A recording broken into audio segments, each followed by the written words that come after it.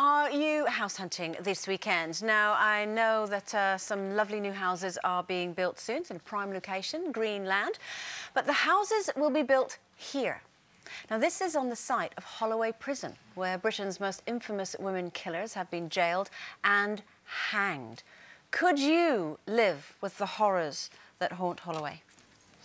Well, girls, I'd like to think that you know it's a nice house and we need we need more houses. Uh, but I just think if you know that somebody's been murdered there or hung there, it's bad energy.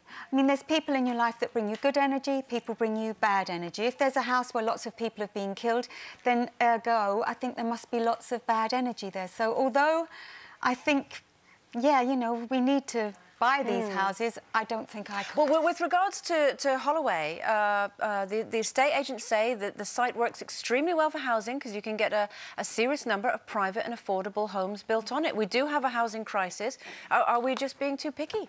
Well, well uh, oh, go on. No, I was just going to say, I really wouldn't want to live anywhere where Myra Hindley or Rose West has lived, and they've lived there. It's just like, it's just, no, no matter what, how nice the housing's going to be, you still would yeah. be sitting in your house thinking of all the people that have been there before, all the misery and all the heartache and, and all of those terrible murderers mm. have been. So, no, I personally wouldn't like to live there. And I know we need housing and everything, yeah. and obviously some people will live there, and it's it's quite close to me, Holloway. It's quite famous where yeah. we live and that. But um, no, I won't. I mean, it's a place of historical resonance. Uh, that's where many of the, the suffragettes who fought yeah. so hard for us to have the, the, the, equality and the status that we do now, that's, that's where, where they, they were kept.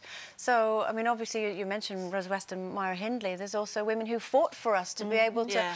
buy our own houses, have the freedom to do that. Would, yeah. would that not and make a difference for Ellis, who really, uh, she murdered her boyfriend, but it was a sort of crime passionnel, really. Yeah. I mean, she did it out of, you know, just a sort of rage and pain, you know. So you can't really put her in the same context, mm. I don't mm. think, with people like Myra Hindley and Rose West. Okay. But it's, it's it, for me, it's completely irrational because this is going to be razed to the ground and new houses yeah. are going to be built. But uh, a, I have a friend, well, an ex-friend that went to Holloway, and um, she was led astray. And um, I have to say, I was fascinated hearing all her stories about that.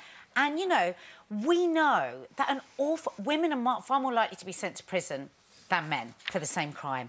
The most, a lot of women are put into, were put into prison, and the most awful things mm -hmm. happen. And I have always had this irrational fear that I'm going to end up in prison one day. Have nightmares about it. When I go to, whenever I go to America, Mark, Mark Mark's like, I know what you're thinking, I know what you're thinking. I think I'm going to get arrested. When we get there, I'm going to get arrested. I'm going to get thrown into jail, and I'm never going to come out. And I think in a past life, I was once in prison.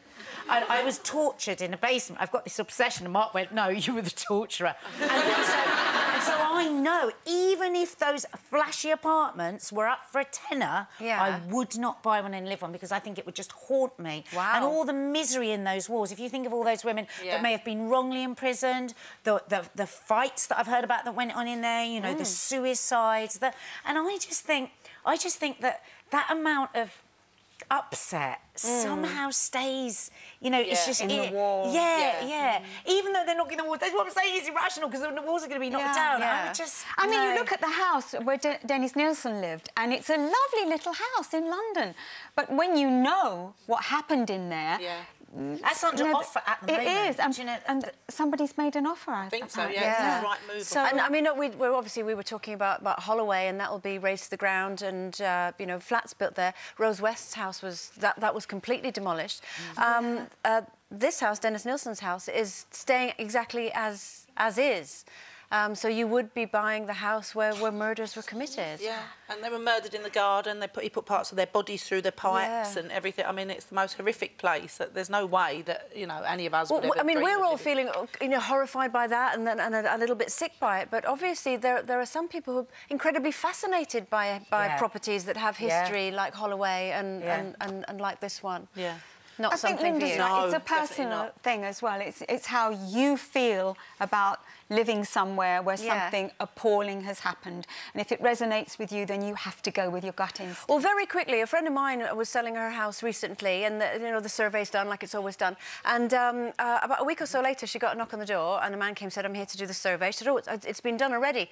No, I'm here to do the happiness survey. okay, unusual. And um, she let him in, and apparently he went round the house and he was there to make sure that the house felt happy. Because Yeah. a lot of the time when you do buy a property, it's about how it feels. It's Yeah, not you like... can't feel it yourself. You want someone else to feel it.